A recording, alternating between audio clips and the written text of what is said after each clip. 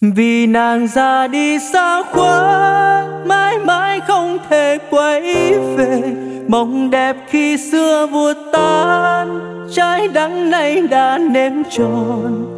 Nhìn trời đau xót cõi lòng, lệ nhòa thấm ướt phan kinh. Tuyệt thư còn vương màu máu hận sao đời qua đáng cay. Lệ sầu vương trên mi mắt phật sự hôm nay lìa tan, bóng tối che đi vàng. Đoạn tuyệt xuyên với sắc mồ hỏi phật sao chấp chuyên ta? Vì sao độ ta không độ nàng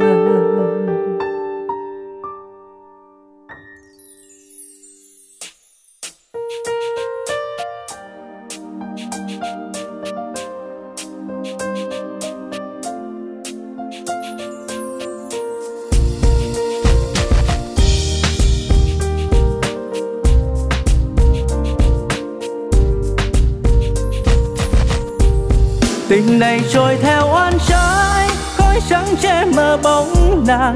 Một thời thanh xuân vội tan, khắc nét bao chuyện ái tình. Nợ nàng mang hết kiếp này, gạt lệ cất áo ca sa.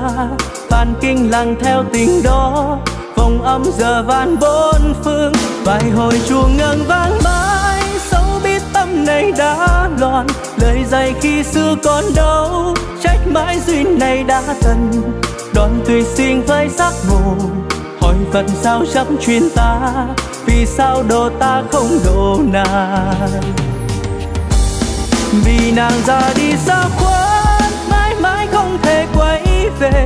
Mộng đẹp khi xưa buồn tan, trái đắng nay đã nếm tròn. Nhìn trời đau xót cõi lòng lệ nhỏ thầm ướt phan kinh tuyệt thư còn vương màu máu hận sao đời qua đáng đã loạn. Lời dạy khi xưa còn đâu, trách mãi duyên này đã tận. Đoạn tuyệt xuyên với giác ngộ, hỏi phật sao chấp chuyên ta? Vì sao độ ta không độ nàng? Đoạn tuyệt xuyên với giác ngộ, hỏi phật sao chấp chuyên ta? Vì sao độ ta không độ nàng?